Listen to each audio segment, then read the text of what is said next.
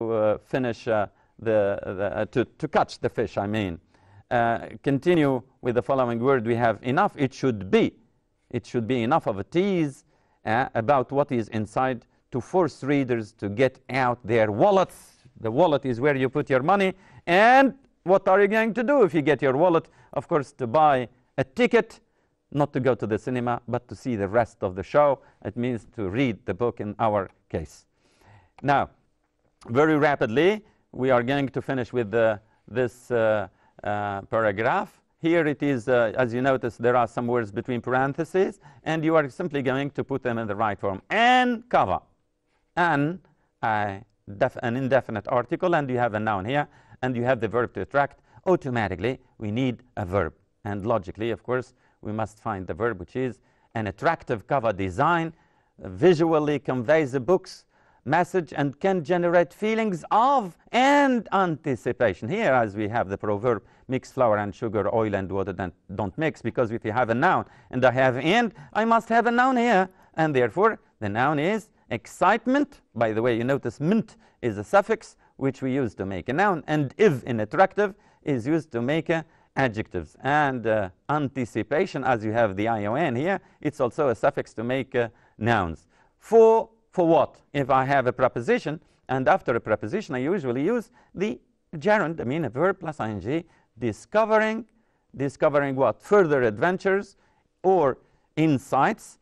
Uh, this uh, not only allows the reader a greater feeling of what? Of uh, what? If I have an adjective here, it must uh, change it into a noun because I have a preposition which after which we use an ing form and the ing form plays the role of a noun. Sometimes when it is after a preposition the noun from curious is curiosity and of course here you have the the y or the t sometimes we are used to uh, as uh, prefix uh, suffixes sorry to make a noun. An engaging cover will create positive feelings and reading emotion and then I have full stop consume the verb and then buy with their eyes. So I'm talking about people here. I'm talking about the agent. Therefore, those people who do the action, how to make a noun from a verb, a person noun, I mean, uh, um, a, person noun, it's a noun that refers to a person. Usually we use ER, as we say teach, teacher, play, player, dance, dancer. But sometimes we use OR when your verb finishes with a T, like visit, visitor, act, actor, and so on. Therefore, we have consumers. Sometimes in the tests you feel you understand that you have to put consumer as a person name, but you forgot this small s. Uh, pay attention because we have here buy, not buys. And if it is one person, you say a consumer buys. So consumers buy with their eyes. So a, a what? Designed. Ah, I have here an adverb of the adjective good, knowing those irregular adjectives, good and bad and uh, little. Uh, well-designed cover gives the book more value readers look at the spine, the spine of the, the book. Sorry, this one is torn. Uh, this is the spine as uh, we talk of the spine of a person, which uh, helps you to stand up. Uh, so those parts, the cover, uh, gives the book more, more value. Readers look at the spine, front cover and back cover, before, and I have the adjective prompt and making. Uh, normally, I cannot put an adjective since I have an action to describe, and usually we describe an action or a verb by an adverb, therefore, promptly making the decision. Making the decision what? Pay attention, we don't say to take a decision, we say to make a decision. Making the decision, of course, we have to use a full infinitive. It means to buy.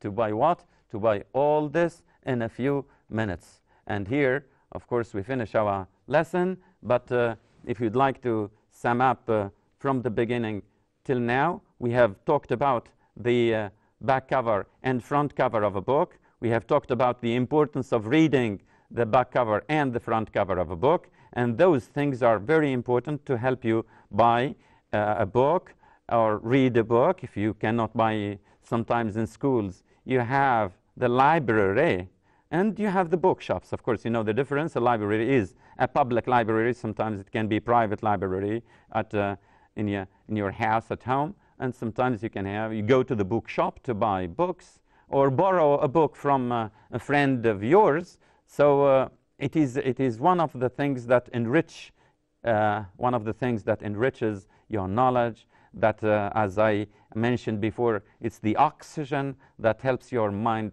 develop uh, carefully, develop uh, in a good way, and you are going to store information in your mind.